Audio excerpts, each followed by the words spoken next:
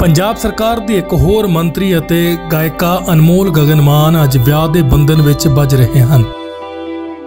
ਉਹਨਾਂ ਦਾ ਵਿਆਹ ਸ਼ਹਬਾਜ਼ ਸਿੰਘ ਸੋਹੀ ਨਾਲ ਹੋਣ ਜਾ ਰਿਹਾ ਹੈ। ਜੀਰਕਪੁਰ ਸਥਿਤ ਗੁਰਦੁਆਰਾ ਨਾਭਾ ਸਾਹਿਬ ਵਿੱਚ ਵਿਆਹ ਦੀਆਂ ਰਸਮਾਂ ਹੋਣਗੀਆਂ। ਇਸ ਤੋਂ ਬਾਅਦ ਜੀਰਕਪੁਰ ਦੇ ਇੱਕ ਮੈਰਿਜ ਪੈਲੇਸ ਵਿੱਚ ਸਮਾਰੋਹ ਹੋਵੇਗਾ।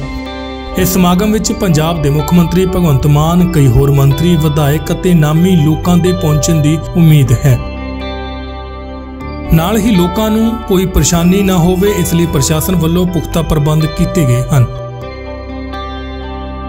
ਅਨਮੋਲ ਗਗਨਮਾਨ ਦਾ ਵਿਆਹ ਜਿਹੜੇ ਪਰਿਵਾਰ ਵਿੱਚ ਹੋਣ ਜਾ ਰਿਹਾ ਹੈ, ਉਹਨਾਂ ਦਾ ਵੀ ਖੇਤਰ ਵਿੱਚ ਚੰਗਾ ਰਸੂਖ ਹੈ। ਉਹਨਾਂ ਦੇ ਪਤੀ ਐਡਵੋਕੇਟ ਸ਼ਹਬਾਜ਼ ਸਿੰਘ ਪੇਸ਼ੇ ਤੋਂ ਬਿਜ਼ਨਸਮੈਨ ਹਨ, ਜਦਕਿ ਸ਼ਹਬਾਜ਼ ਦੀ ਮਾਂ ਸੀਲਮ ਸੋਹੀ ਰਾਜਨੀਤੀ ਵਿੱਚ ਹਨ। ਉਹਨਾਂ ਨੇ ਬਨੂੜ ਵਿਧਾਨ ਸਭਾ ਖੇਤਰ 'ਚੋਂ ਅਕਾਲੀ ਦਲ ਦੇ ਨੇਤਾ ਅਤੇ ਸਾਬਕਾ ਵਿੱਤ ਮੰਤਰੀ ਕਮਲਜੀਤ ਸਿੰਘ ਖਿਲਾਫ ਕਾਂਗਰਸ ਵੱਲੋਂ ਚੋਣਾਂ ਲੜੀਆਂ ਸਨ। ਇਹਨਾਂ ਦੇ ਪਿਤਾ ਸਾਬਕਾ ਸੀਐਮ ਬੇਅੰਤ ਸਿੰਘ ਦੇ ਕਾਫੀ ਕਰੀਬੀ ਰਹੇ ਹਨ। ਇਹਨਾਂ ਦੇ ਦਾਦਾ ਆਜ਼ਾਦ ਚੋਣਾਂ ਲੜ ਕੇ ਵਿਧਾਨ ਸਭਾ ਪਹੁੰਚੇ ਸਨ। ਦੱਸਦੀ ਕਿ ਅਨਮੋਲ ਗਗਨਮਾਨ ਇੱਕ ਪੰਜਾਬੀ ਗਾਇਕ ਸੀ।